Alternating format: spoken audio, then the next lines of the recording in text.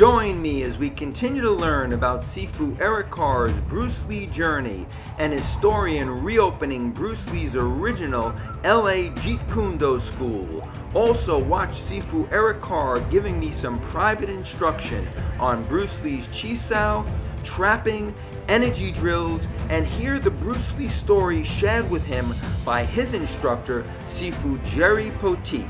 Enjoy! Hey guys, Charles Damiano here from the Bruce Lee Collection, and today I'm here with Sifu Eric Carr. First of all, I want to thank you for allowing me and my sons to take your class. We had a fun time it was today. Pleasure. It was pleasure. So thank you very much. So why don't we talk about a little bit about the 628 College Street, because I visited the school also six months ago, and yeah. I was hoping to meet you there, and I saw the gates in front. So how did you come about, you know, trying to get the location and like what are you doing with it now? And then how you know tell us yeah. uh, why you teach in the park now as opposed to the location. What's going on? I got, I got answers it's, a, it's a, little confusing. Yeah I know I hear so and we worked something out where we were going to do something we trained in there and we opened up to the Chinatown community.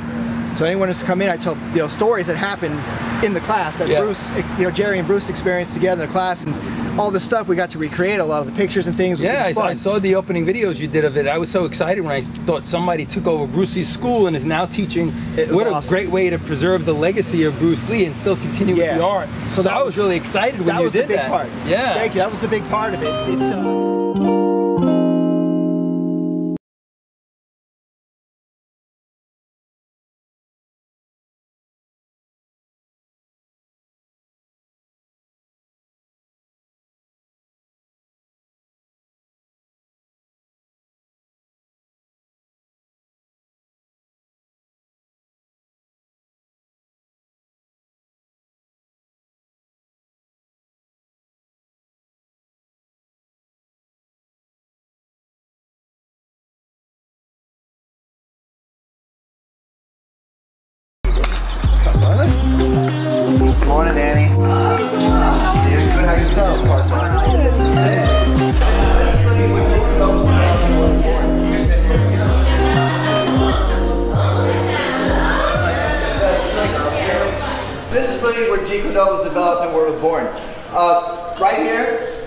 against that wall, we, which we've recreated, Jerry Poteet, right? Danny Lee, one of his best friends, Bruce Lee, obviously, Steve Golden, uh, Pete Jacobs, and Bob Bremer. They were all students. They started at Ed Parker's. They were all black belts at Ed Parker's place, and they ended up they up here. Jerry and Danny Lee were the first two to walk into school.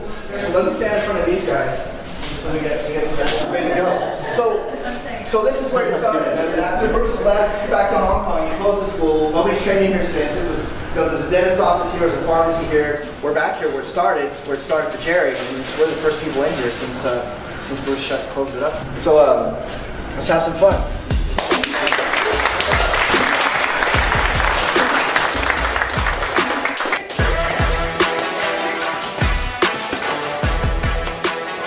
it's uh, ultimately, you know, this is not how I make a living. Mm -hmm. um, and, and, for me, it was like, okay, this isn't a space that that is. There's no parking. Parking's rough. It's, yeah. It's, yeah. So use it. Uh, we get in there here and there for like special events. Got you. You know, if you come back, we can we can open it up. Oh, that'd be great. Yeah. So so it's not ideal for what I do. Um, you know, and here, people get flexibility. You know, parking's pretty. how long you been teaching in the park here? I bought a house here nine years ago, so wow. that's when I started here. Yeah, I was in China. I was in LA. class again. Bruce had three rules for the class. The first was be on time. Jerry had said that Bruce would lock the door five minutes past, and he said you you better not knock either, right? just, just go home. Um, the second rule was leave the ego at the door, right? Empty your cup. You're coming to learn something, forget about what you think you know, and yeah. Yeah. Um, the people would come in and try to prove stuff, things like that. Right. Anyway, so the third rule was don't teach outside of class No, what Bruce was doing, even now, there's stuff that I see that we're doing, hitting on every move, we're switching leads. It's not a lot of people do that. No. Uh, also, uh, no passive moves, things like that. Attack the attack, Bruce's principles. Uh, Bruce painted the glass uh, black, except for a tinted strip at the top at the Chinatown school. So he didn't want people looking in. people looking in. Yeah. Six months after training with Bruce, so Jerry was a black belt under Ed Parker. Six months after training with Bruce Lee, he went back to his old school, and Jerry's exact words, just to see what the guys were doing. He said he was out there sitting there watching everybody work out. And in, in Parker School. At Parker School. At Parker School. Yeah, so yeah, Jerry went back to Ed Parker's just to see what the guys were doing, were his words. And he's sitting there watching those guys, and he said there were five black belts down there that, he said three of them He said three of them I, uh, I never had any trouble with, but two, they always got the better of me.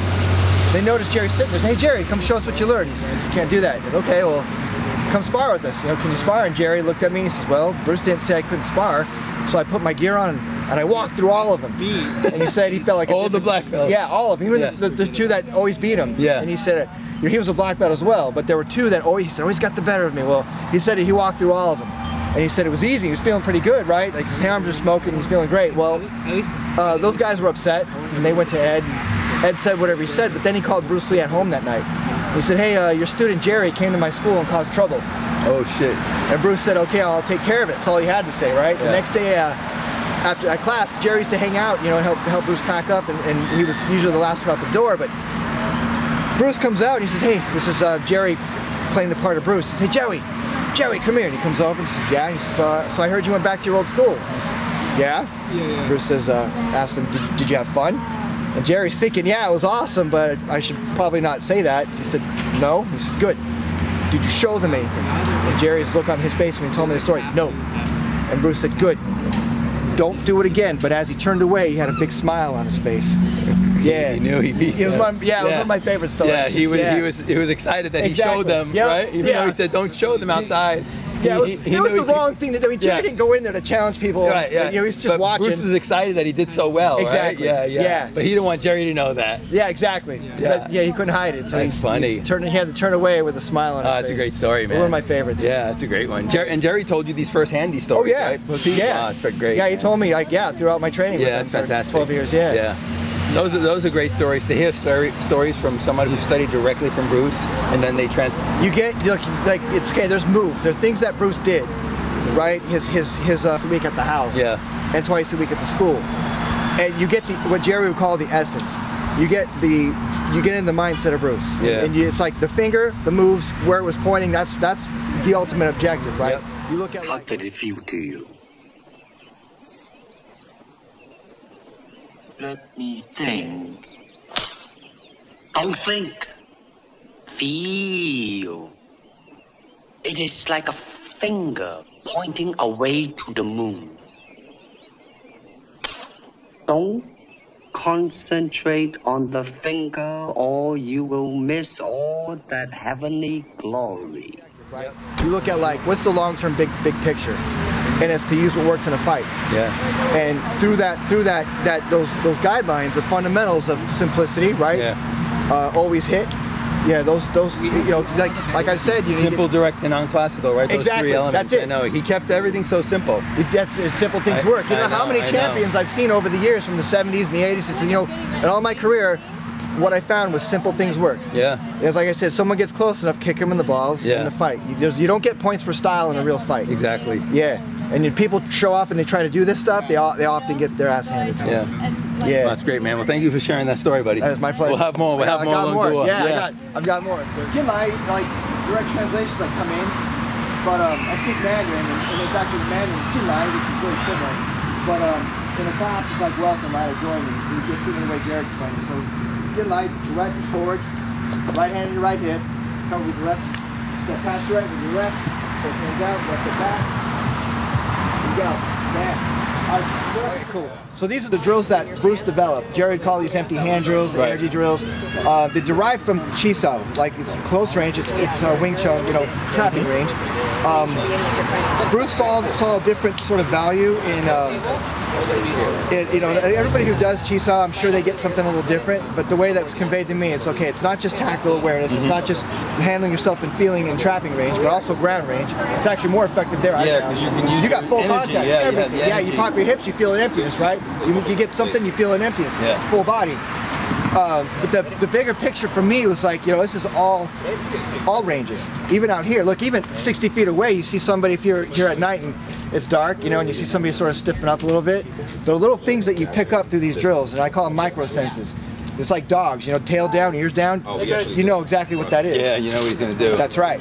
So those things like that, you start to notice these things. And in a fight, even at this range, you start seeing somebody that correct. Yeah. Yeah, I'm, I'm exaggerating, right? I'm being really obvious now, but little things, you know what they're thinking. Yeah. When you start thinking about something, you, your body tenses up in certain places. Little things start to happen. Now, the idea was like, I heard Bruce tell, tell a story. Jerry had told me in the class. He said there was about a woodcutter. We love trees, we don't cut trees. But um, the guy had been doing this the whole life. Tree opened up, a dragon popped out. And it just standing there. The guy's thinking, wow, if I take this thing down, drag it back to town, I can retire.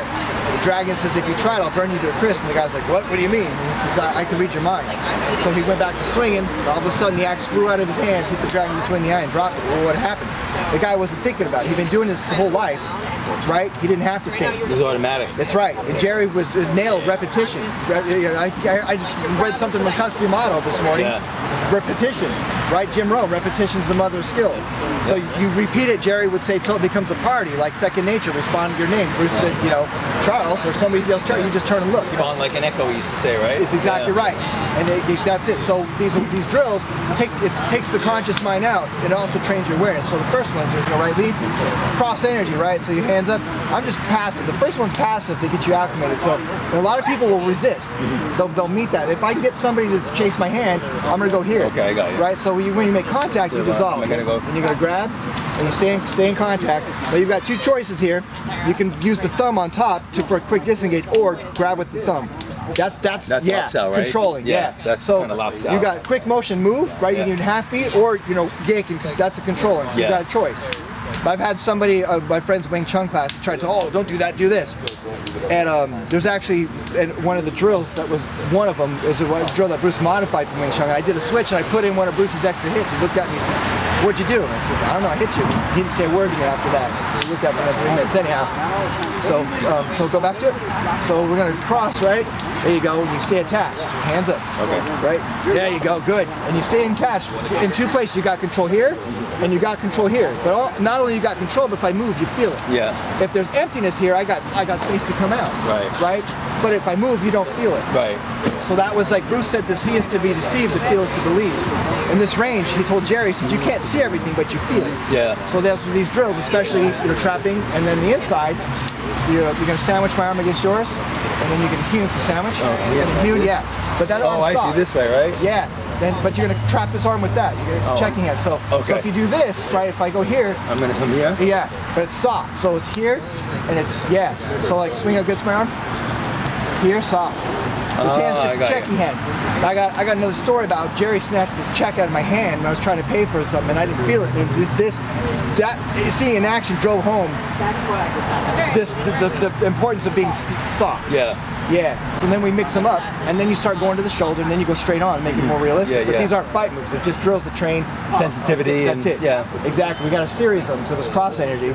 There's the wampak, right? There's the harmony spring. So wampak is um, stand square, you punch. Now if I do nothing, I get hit. Mm-hmm. So the idea is, is Jerry called this a no shit move. I'm gonna pop just enough to clear the line for the punch, economy of motion. Then you chamber just enough, and you pop to move my hand and punch. You can punch over or under, right? Oh, under, okay. Yeah. Otherwise, you have to go all the way over your arm. Pop and, and, and So I'm punch. coming under? Exactly. So, Ah, I got you. punch, down here. Chamber. Your wrist down there. Now I come back. you just chamber or pop. Okay. Yeah. Pop with that uh, left. Oh, under. Yeah, see? Ah, I got it's you. quicker so you don't have to go all the way over your Round, arm. yeah. Just pop and hit. So you good? So, so here, right? Yep. Chamber? Oh, come back. Yep.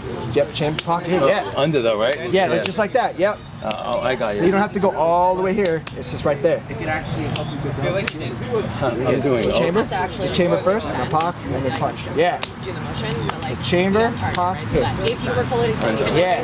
well, you don't There you go. There you go. That way if I get a hold of this arm, I don't have that one. You can swing, punch that. There you go. If your arm's under, I get a hold of it, I got both of them. Yeah, you're trapping me, right? Exactly. Now switch. Now this hand follows this arm. There you go. Good. Hell yeah. All right.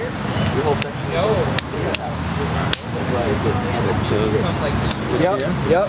Ah, And and but as we do these, you, you change the timing, and you there's some you put a jut in there, other progressions. yeah. So you could jut down. Exactly, jut and then hit first. If that doesn't work, then you pocket it. There's the harmonious spring, which is like, you know, yeah. So I, I jut and you swing back, straight at me. So yeah, so the lesson here is to like grab my arms. Like I said, you got my arms, right? I got yours. As long as you're hanging on to me, uh, you can't use your hands.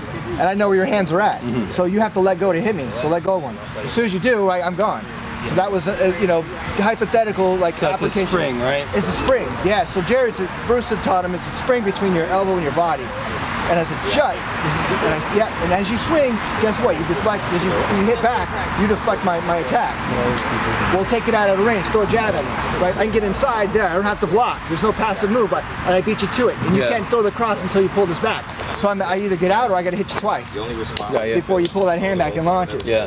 So those are so those are the some of the, the the applications. You know, they're not fight moves, but there's application to that drill. Um, inside lopsided switch. Have you seen that one? I haven't done these in a while, but See here? So now I've got hands on the inside. So the outside, I can't I can't hit. Now the harmonious springs got other other um, progressions also. So the jut, and then you just let go and hit, then emptiness, right? So you, you get less of a warning. Now I'm on the inside. Now, I, now we got forward pressure, and I got forward pressure. And forward pressure was a big deal. Everything's forward because Because you're I in used to front of close you. our eyes. So I can't get through. So this time I got a lock. So as I lock, you inside. There you go, just like that. Right now, imagine, yeah, imagine if I'm, if, if like I've got your a hand, I'm trying to pull your hand away against the wall or on the ground to swing. All of a sudden, you, switch inside and punch first. yeah, yeah. So if I if I'm here, I'm wrestling, I get your hand out, right? And bam, yeah, exactly. And you kind of using. exactly you switch inside. Now I found that the Hunsao works really well on the ground. If somebody's got your hands in it, slip out. Yeah. And I've had people ask me, well, what'd you do? Remember Hunsao? I used to do that when they Real, real simple motion, yeah. So yeah, I can already see it. Yeah, they would grab me and I'd be Hunsaoing. They used to hear me uh, say those terms. Yeah, so he remembers that. Demisa, pair up with up here. Um, then there's the uh, the bong sao drill, which in Wing Chun is called side lock, and they do it square. So Bruce did it in a, in a lead because Ah, yeah, okay. so so you don't necessarily in, in Wing Chun you like as you probably know right you, you lose Yeah. contact exactly right. So so Bruce we go to an unmatched. So go back to yeah. So you're on the right and I'm on the left. So go go left. Yeah, exactly. So Bruce switch made it this way, right? So from here I go for the switch. When you switch leads, go for it. Yep. Now go ahead. Bruce put some uh, right You want to switch? extra hits. You see, I'm doing something. I'm hitting at the same time. I got you. And he would, yeah. So he would do like maybe swing here, right, and then high again, and then high Oh. I got you. Yeah. Now what do you got? Yep, yep. You got the riposte. Good. You gotta go for a hit down. Oh, so you did that? I, I You could come do that. here, right? Yeah, You could do that too. So you come here and then you bounce out, exactly. right? The Yep. riposte, right? Fencing, like a fencing move. That's where we're.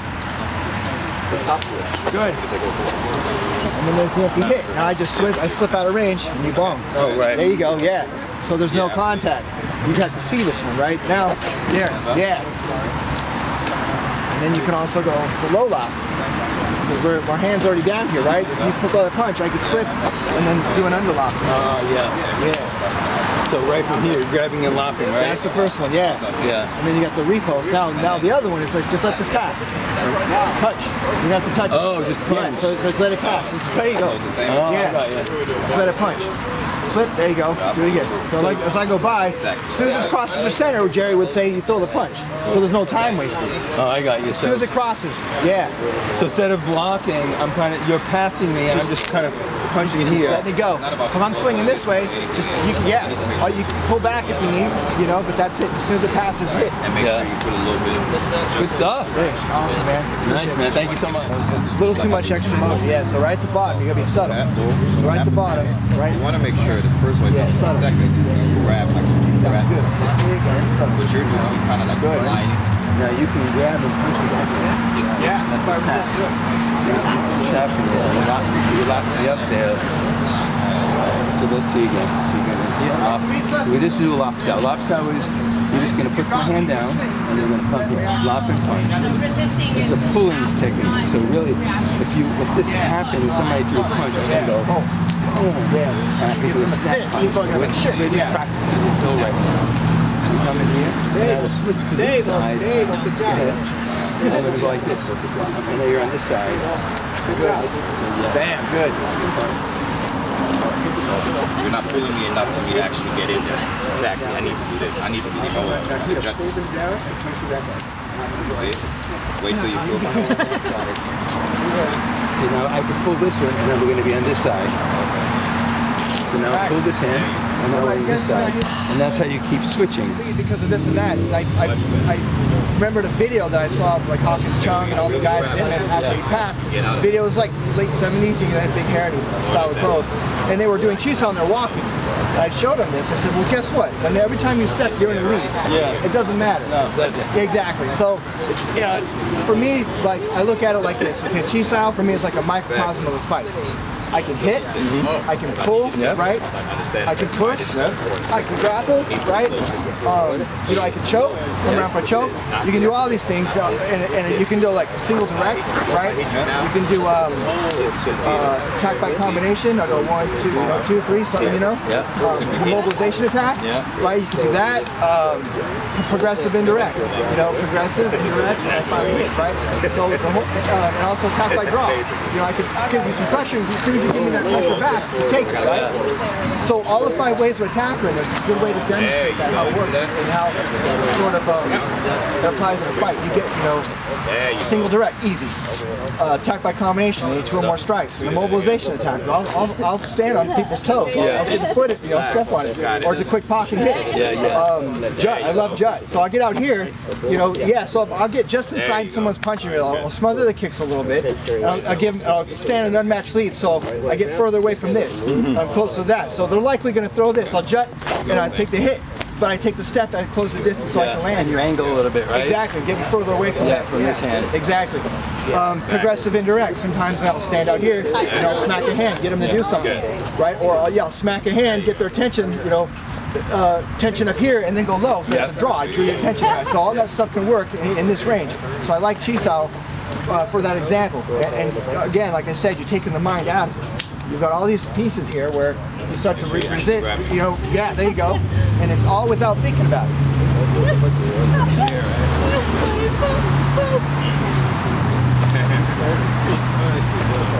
And all these drills fit together, right? Guess where we're at. Offset? Exactly. Now what? Wampa. Exactly. Oh, look at that. Yeah, they all fit together. If I go here, we got the cross area. Yeah. Right? So uh, even here, jut and hits, harmonious spring. I can come here, right? If you do that? If I j- if I here, you can spring back punch. You don't have to switch out. Oh, just uh. You're on the inside already. So if I do this, just like that. Oh, You're on the so instead inside. of rolling outside, you stay on the inside Exactly. and punch. You, you got the you got the benefit of being on the inside. Yeah. You know the inside lane is the faster one, and, it, and it's less motion. If I do this, you just dead. You just bring back and hit. Ah, And also your mind's thinking it's two quick steps. So you can get your hand down there, just like which hand. That's a draw. if I'll you do tied that. me, I was always trained to kind of do a You can- quan sao you out of it. twist and then out of it, yeah. You twist can out of it, twist it. yeah. It's Twist cool. out, yeah. Yeah, quan twist sao, and then it usually leads into a lap sao. You could do that. Yeah. So if I if I get um here and I get you to put a hand up, right? And I start to twist. Yeah. Step out. Now you got me. Now if you could reverse this, right? Now there you go. Yeah. Shit, yeah. A trap there, right? Exactly. Right. If- Whenever there's contact somewhere, you've got to um, you know, it's even like put your hand up. Even this. Who's going to get here faster? One of us. Yeah. Right. As far as as far as that as that you know that reverse. If I throw a punch and our hands touch, Bruce told Jerry said whoever's got the better sensitivity and speed is going gonna go first, right? Yeah. So as soon as our hands, As soon as touch, you're here, you can feel it. Yep. You're either gonna pop or you're gonna lock, right? or short disengage. Yeah. Or Yeah. So I- yeah. So if I got exactly, you got a hand there, right? So Yeah. so you're not setting it free. So these mechanics have to happen instantly. Yeah. And this is a part. This is part of your nervous system. This isn't your brain working. There's no logical piece there where you can stop and think about it. It's not Yeah. chess. That's the great thing about Chisao because it's the sensitivity That's drill, right. right. So you're not thinking anymore. Everything's reacting after It a while. It does it. Yeah. That's what Bruce said. It, there, there was a night uh, in class, you know, he and Jerry were packing up, and he came out and said, Jerry, let's do some Chisao. And he says, no hits. And Jerry says, no hits? He says, no, we'll just roll. So they're rolling. And all of a sudden, bam! Bruce hit Jerry in the chest. And he said, hey, I thought you said no hits. And Bruce said, I didn't hit you, it hit you. The emptiness was there, and his arm went. Yeah. And that's what has to be in a fight. And by the time something's swinging, if you're analyzing it, you're already hit.